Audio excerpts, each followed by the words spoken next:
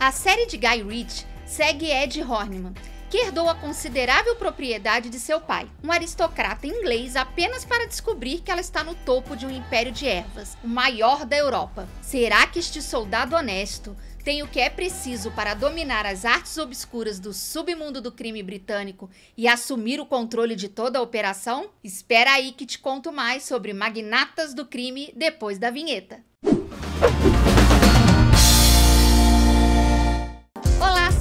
Cinéfilos e série maníacos de plantão. Tudo bem com vocês? Eu sou a Gabi e esse é o Pode Ver Sem Medo. Menos que um spin-off e mais do que uma reformulação, Magnatas do Crime ostenta a mesma premissa do filme de 2019. Aristocratas se misturando com gangsters em prol de um enorme império da erva. Se é que você me entende.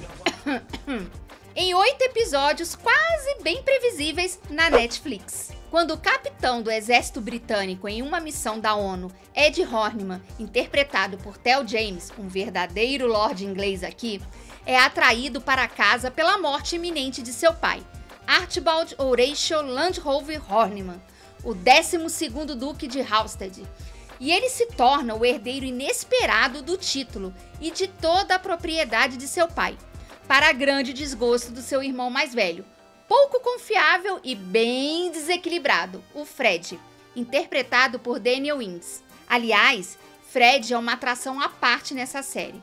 Daniel Ings caiu como uma luva nesse papel você sente por ele uma mistura de raiva e dó, além de terem cenas muito divertidas graças a ele. Infelizmente para Ed, a propriedade em si também vem com um acordo comercial pré-existente de seu pai, ou seja, abrigar uma instalação subterrânea de maconha altamente legal, mas altamente lucrativa abaixo da propriedade. O lugar é operado por uma gangue com uma série de operações desse tipo, todas escondidas sobre as mansões de vários outros aristocratas que ficam felizes em receber uma grande pilha de dinheiro em troca de olharem para o outro lado. À frente da operação está Suzy Glass, interpretada por Kai Scodelario, que representa seu pai que está preso, o Bob Glass.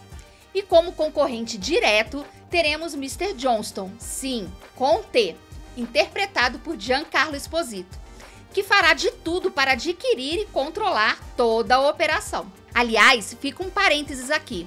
Senti falta de maior participação de Esposito. Ele é muito bom nesse personagem, com toda a sua excentricidade peculiar. E poderiam ter mais cenas com ele na tela. Quem sabe numa próxima temporada, se houver mesmo, não? E no meio de tudo isso, Ed terá que lidar com os problemas do seu irmão, que deve dinheiro para outra gangue de traficantes, fazendo com que ele precise da ajuda de Suzy, o colocando cada vez mais no meio de toda essa operação ilegal que rola na fazenda. Apesar das diferentes abordagens profissionais, Ed e Suzy lidam com problemas semelhantes, como ter que provar o seu valor e proteger os seus irmãos idiotas. No caso de Ed, seu irmão, sendo mais velho, deveria ser o Duque, mas a experiência de Fred consiste em cheirar coca, agir como idiota e causar muitos problemas. Um Ed sensato tem que salvar sua pele continuamente. Então teremos a série dividida em dois grandes grupos: os aristocratas ingleses ricos cujos títulos e propriedades lhe garantem acesso a uma classe refinada de senhores e damas, e do outro lado estão os criminosos, britânicos coniventes que fazem o trabalho sujo necessário apenas para sobreviver.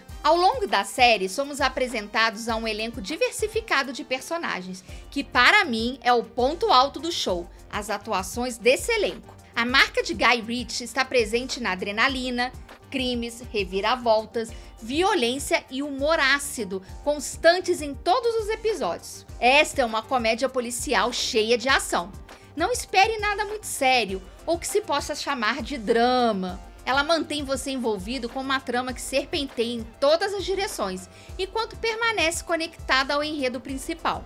As subtramas, algumas pouco exageradas e ridículas até para um aristocrata, incluem o roubo de um carro super chique, ciganos que vão residir na mansão, uma gangue extremamente religiosa e até, sim, acreditem, um órgão preservado de Adolf Hitler de 80 anos. Adolf